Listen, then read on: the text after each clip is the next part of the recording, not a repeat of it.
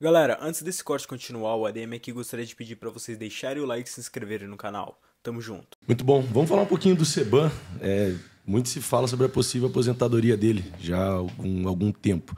Você acredita que ano que vem ele segue, vai para o Mr. Olímpia ou, ou para? Que até ele tá com alguns problemas de saúde. Cara, né? os caras falam que ele vai aposentar desde que ele começou a competir.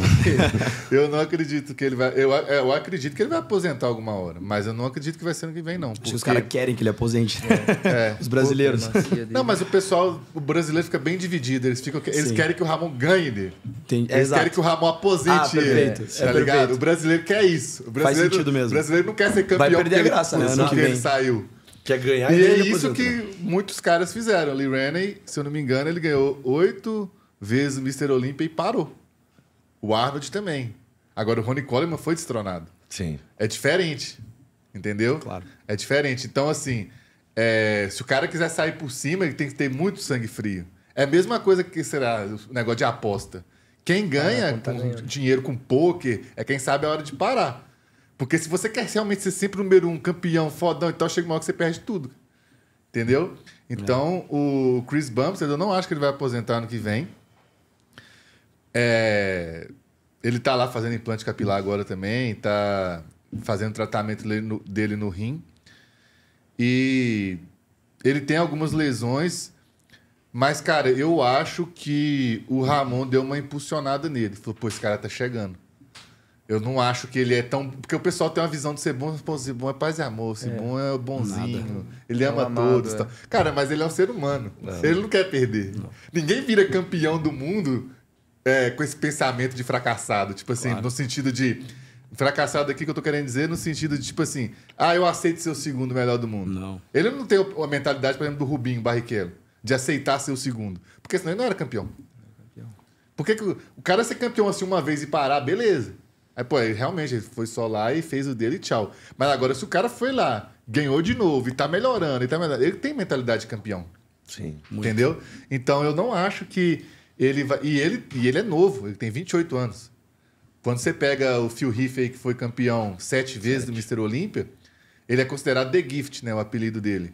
E ele foi campeão, tipo, não lembro a idade, mas, tipo assim, a primeira vez, tipo, com 30 anos, sei lá. Sim. O Sebum, com 28 anos, ele já é pentacampeão. Então, assim, ele não tá no auge dele ainda. Ele, o problema dele são as lesões e essa parada do rim. Sim. Mas eu não acho que é crítico a ponto dele ter que aposentar. Eu acho que se ele realmente receber um diagnóstico médico de que ele tem que parar, eu acho que ele para. Porque agora a mulher dele tá grávida e tal. Sim. Eu acho que ele para. Mas enquanto for algo que ele consegue levar, eu não acho que ele para, não. Ele deu recentemente uma entrevista falando que faz cinco anos que ele não usa trembo. Sim. Queria saber se você acredita, se você apostaria, falar o nome dele 100 mil vezes que isso é verdade. Só pra, o... quem, pra quem não sabe, ele perdeu uma aposta aí, teve que falar 100 mil vezes o nome do Seban, ficou 13 horas em live. Seban, Seban, Seban, Seban. Seban. É muito bom o teclado é bom, tem que fazer propaganda daquele teclado, porque ele aguentou 100 Teve que fazer duas apertado. lives, né? Porque acabou o tempo de uma até. É, mas na verdade foi uma live só, mas o YouTube corta. Aí é que matou meu vídeo. Porque quando faz isso, não é a mesma coisa. Aí eu tive que postar outra metade, aí você quebra o vídeo, aí fica um... não é a mesma coisa. O ideal é que eu tivesse feito ele offline. Eu... Aí ele poderia ter mais de 12 horas. Entendeu? Aí, ou seja, eu matei meu vídeo por causa disso. Mas, enfim. É, eu não acho que é impossível que ele não use trembo, não. Tem outras drogas que fazem coisas parecidas. Por exemplo, tem muita gente que não usa trembo, mas usa estano. Então, assim, é eu acho que é possível, até porque ele usava antes.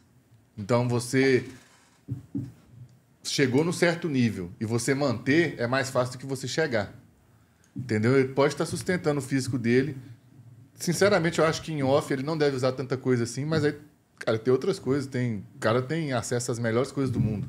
Tem GF1, tem outros peptídeos, tem o próprio GH também. Aí tem as, as testosteronas variáveis, tem outras, tem muita droga, cara. Entendeu? A trembolona é o. Tipo assim, ela é a droga mais perigosa na, na minha cabeça, é questão de saúde mesmo. Até porque quando. Porque o cérebro você só tem. Tipo assim, não sei explicar, mas o cérebro é uma parada muito, muito séria. Né? Então, a coisa que afeta seu comportamento, cara, é algo que você deve repensar muito. Todos os atletas usam. E, e muita gente, apesar de ser que eles falam bro science, né? É, associam problema renal com trembolona.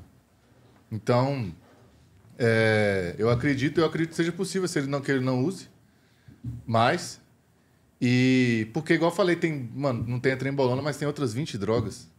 Então assim, dá para você compensar isso, entendeu? Você acha que é verdade? Que o Sebana usa trembo há 5 anos? Cara, eu acho que pode ser sim. Pode ser sim. Acho que, como ele falou, tem muita droga para compensar, para utilizar no lugar.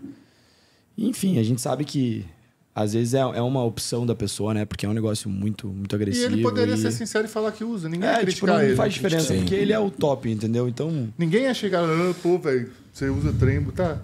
Não usa trembo, mas usa Masteron, Primobolan, Dura, Janabol, Hemogenin, Alotestin. tipo, Alotestin é 10 vezes pior que Sim, trembo, questão de saúde. Muito agressivo. Né? Então, assim, não- ele não precisava falar mentira. Pode estar mentindo? Pode. Mas ele não precisa. Mas apostaria ou não? 100 mil vezes. Ah, é muita. é muita bobeira, né?